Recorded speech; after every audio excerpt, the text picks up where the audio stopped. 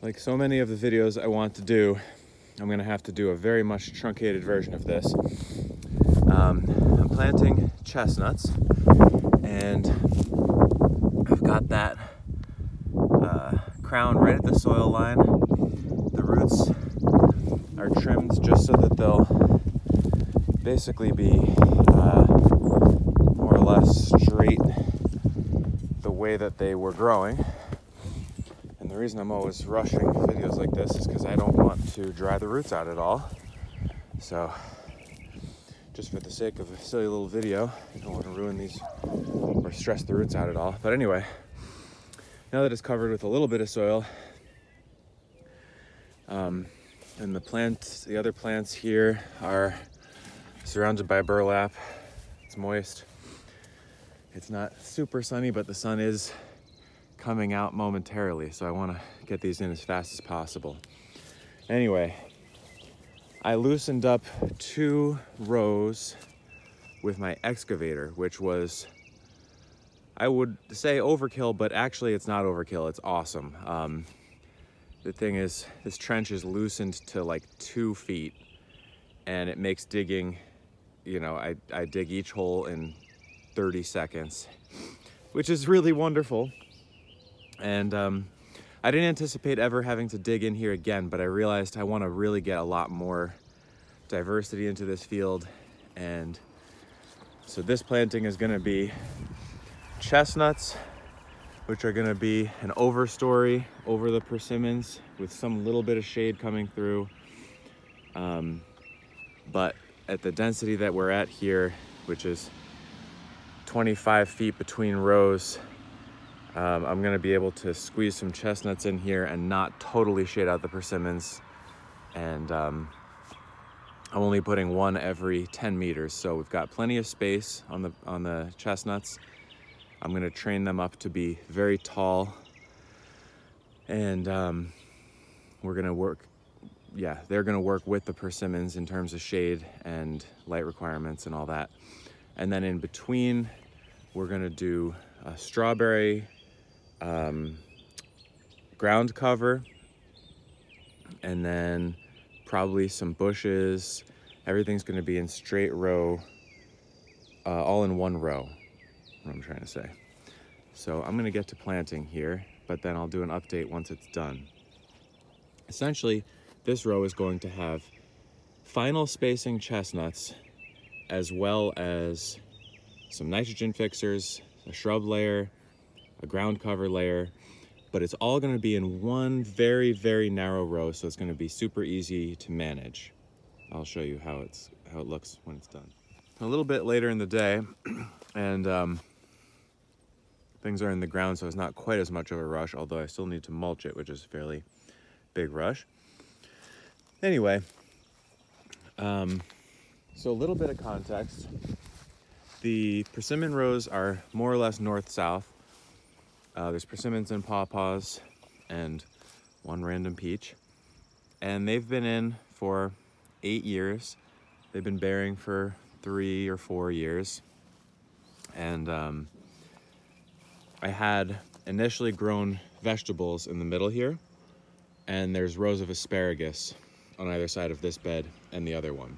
And that's still there, and they should pop up any day now. They're a little bit late here because um, I let the uh, grass and stuff grow around them, so that slows them down because it doesn't, um, the soil doesn't warm up very fast. So they're a little behind normal or whatever. Maybe this is normal until the asparagus comes up earlier than normal. Anyway, um, so I used to have veggies here and I wanted to put in some canopy trees that would overtop the persimmons, um, but provide not too much shade to prevent them from fruiting. So I, I found that they can withstand, you know, 30%, 40% shade, which I won't even get them that much, and still fruit pretty well. So I was able to pop in these like really nice chestnuts that are, you know, seven feet tall, eight feet tall, um, every 10 meters. And then in between, can't really see everything right now, but essentially the pattern is in between chestnuts, there are two nitrogen fixers, a red bud and right there's a low nitrogen fixing, and an amorpha, high nitrogen fixing. Um, different flower times, totally different growth habits. And then um, there are also shell bark hickories, just to make sure we've got nuts in case something dies. And then there are pawpaws and black currants that are gonna shade the pawpaw. So here's a little pawpaw and the black currant is gonna shade the pawpaw. Um, that's the amorpha.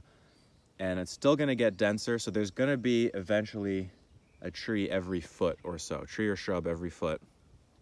And then on this one, I've already started popping in the center ground cover, which is these strawberries. So there's a strawberry every eight inches or so. And so, oh, and then I've got a few um, poplar, hybrid poplar, and that's a crossover species between ecto and endomycorrhiza. Also great biomass um, species. And so all of the, the woody species are right down the center in one exact line. So when I need to mow, I can mow really tight. And then even the strawberries are in the center line. And the only thing that I might plant on the outsides of that center line are some annual veggies, maybe like a row of bush beans or something pretty simple. Um, because I just want to keep the management really, really streamlined and simple. So I can mow on the sides and this is all going to be mulched and then maybe two lines of veggies on the outside.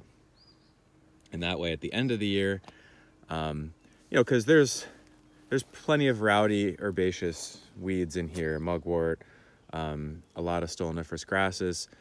So they're gonna creep in eventually. And, you know, if I had more plant material right now, I probably would put more stuff in the sides. Um, I'd love to have some rhubarb, but I don't have enough rhubarb right now. And uh, more comfrey, but I'm all out of roots and I don't want to dig any more up right now. So I'm sort of stuck.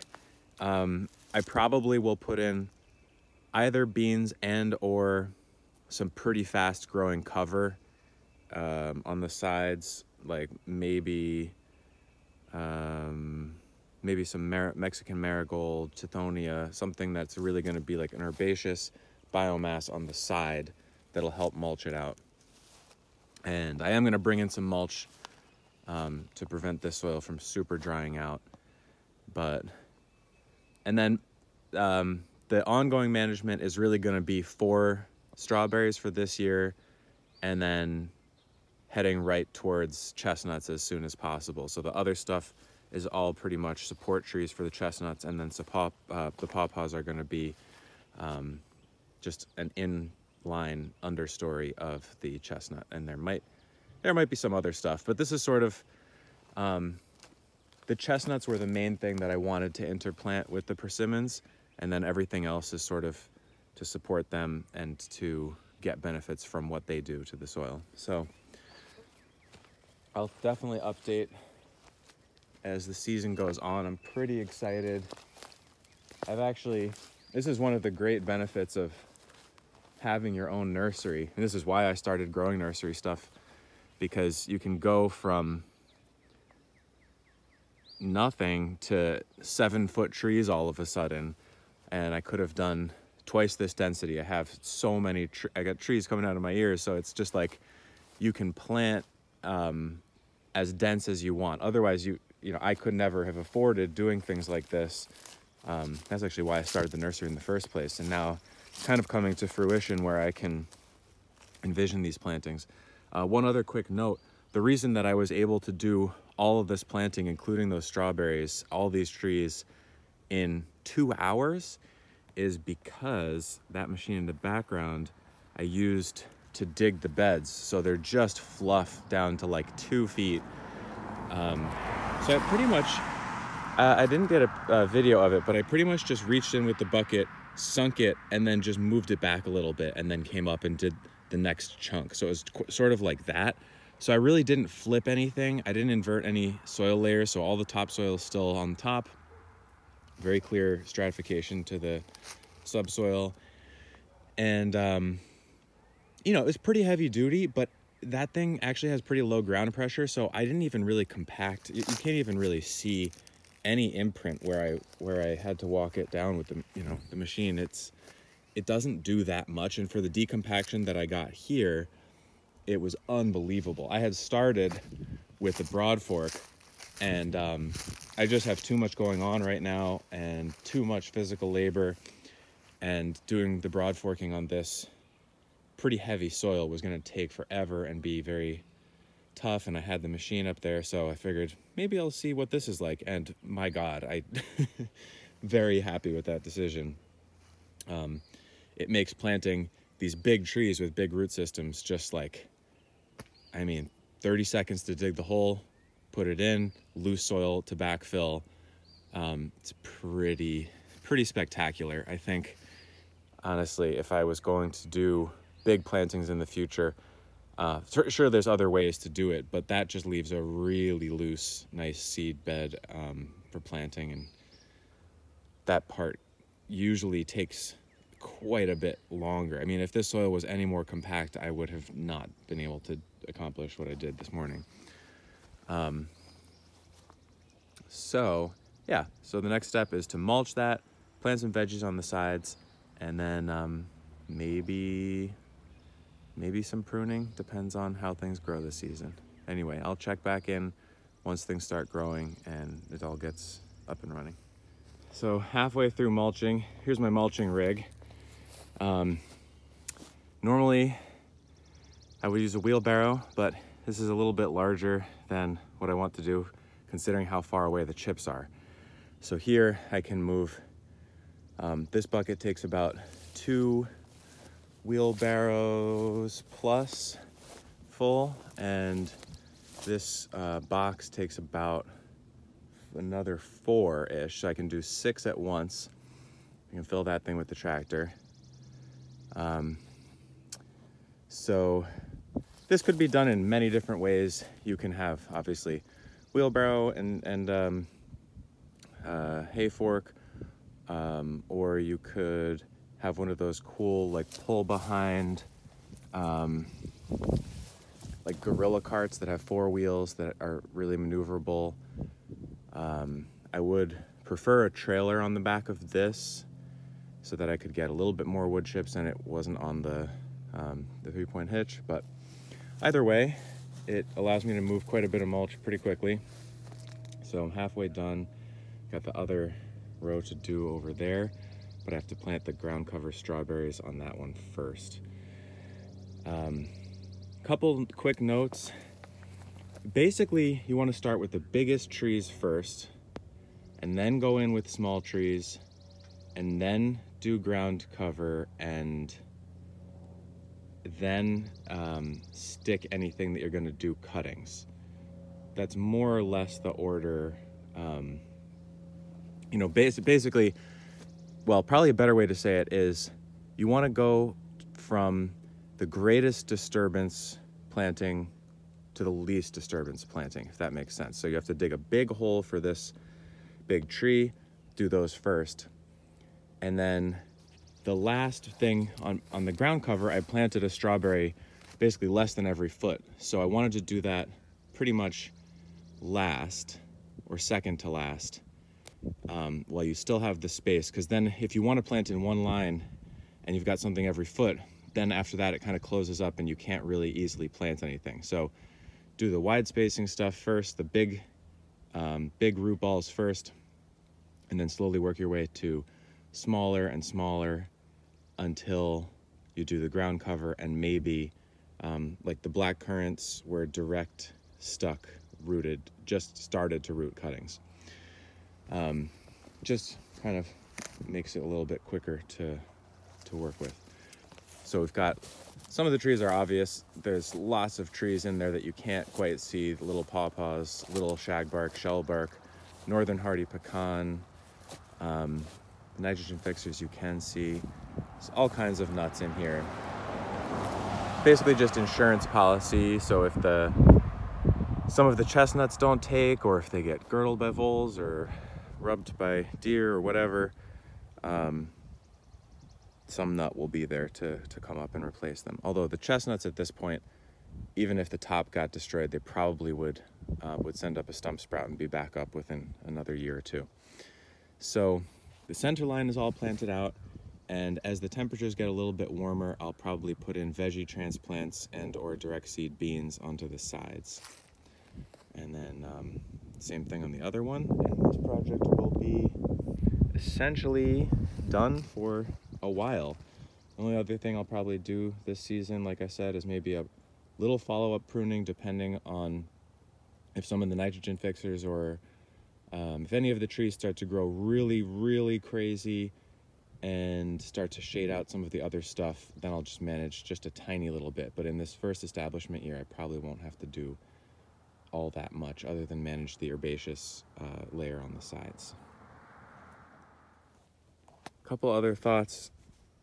The wood chips that I have, it happens to be from a uh, an old spruce tree that fell down and I had left the branches in a pile. They helped establish some trees and then I moved them on and we chipped them and there was some other stuff mixed into that, some deciduous twiggy stuff, but for the majority of this is um, pine and spruce branches. So that's not the best. Um, you know, this is not a great wood chip to establish deciduous trees, but it is what I have. So there's that.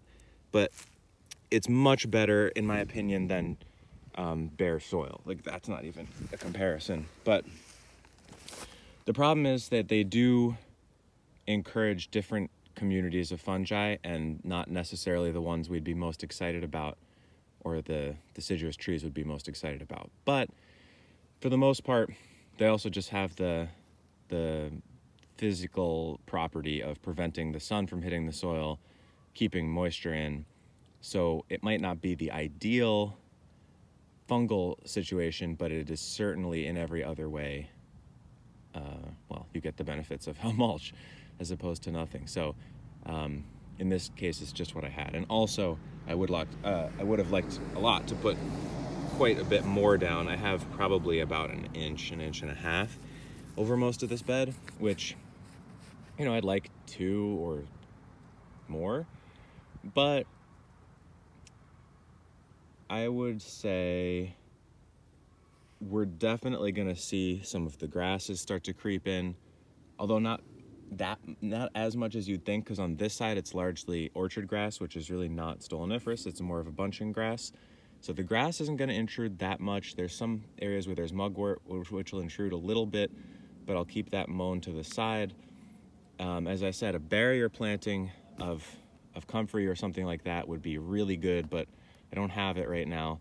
So I'm gonna do, uh, I actually started a whole lot of seeds of Tithonia. So I'm gonna do veggies to start and then Tithonia will take it over and um, kind of serve as the barrier for the rest of the season. So um, yeah, if you could get more mulch, that would be good. If you could get, you know, ramial wood chip mulch from deciduous trees, that'd be perfect, ideal, but you know, then there's reality. So anyway yeah, because I've uh, I've heard from people that oh you shouldn't use pine wood chip um, mulch because it'll do the wrong thing, but it does most of the right things and maybe isn't the best possible thing, but it's certainly good enough for getting a new um, row of trees established. One final final thought. Here's uh, some of the older pawpaws just about to open up the flowers. Very beautiful flower, kind of somber in a way. And the persimmons have a little ways to go until they start waking up.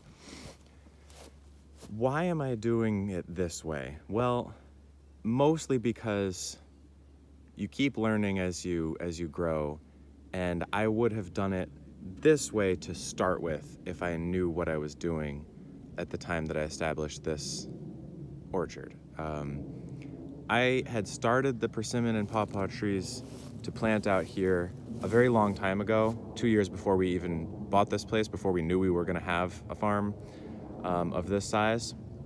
That was just, I had started a nursery, so I was just doing it. And then we got this, and I had the trees, and I was excited, and I put them in. And I didn't really do enough planting at that time. I did interplant these rows, but it was just with strawberries.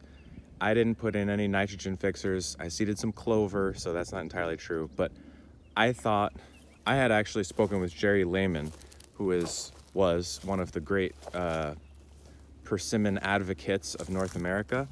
He's passed away, um, but he told me plant on a 20 by 20 or 20 by 25 for ease of management. So I did that. I followed his advice, and I grew vegetables in between. We had the asparagus, and then eventually it all got so complicated, and I said, I'm just gonna mow this. And then I had thought maybe I'll eventually put sheep in there. But I'm not gonna do livestock. Um, life is already busy enough, and I have other things to worry about. And if I were gonna do it again, I would keep basically the same spacing. Well, if I were gonna do it again, I am doing it again. But if I would have done it with this kind of mindset that I have now the first time, I would have kept this very wide spacing, very generous spacing on the persimmon trees. They haven't even come close to touching crown, um, crowns to crowns after eight years in the ground. And I could right now, if I had known better, have a beautiful tall biomass tree in the middle here, or uh, maybe it would be a chestnut or something but I could certainly have done a multi strata, multi level planting.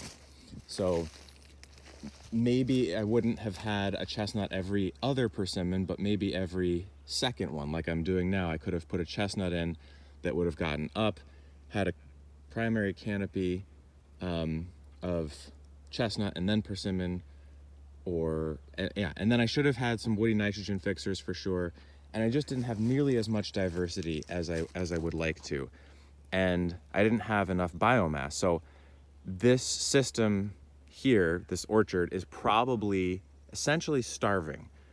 Um, it doesn't look like it. You know, the persimmons are producing food. It's great.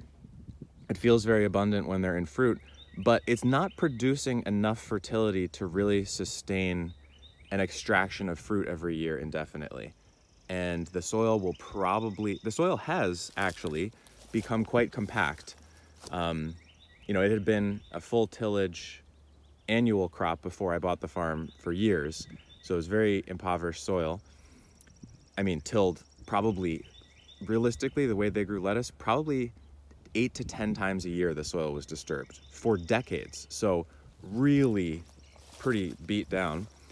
And essentially, I fluffed it up and planted, and I did mulch it really heavily the first few years, but all the mulch is gone now, and I didn't put enough living roots in the ground to sustain the nitrogen fixation, to sustain enough carbon fixation, to put enough woody biomass on the ground to keep soil life improving and diversifying.